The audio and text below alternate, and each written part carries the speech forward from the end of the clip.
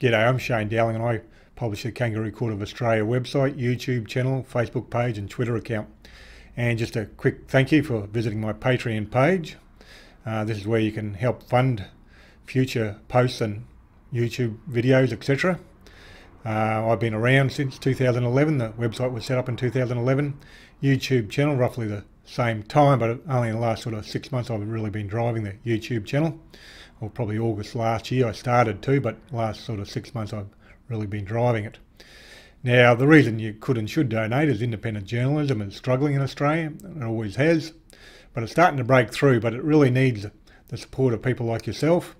My estimate is probably a thousand supporters and an average of say $5, starting off at $3 a month.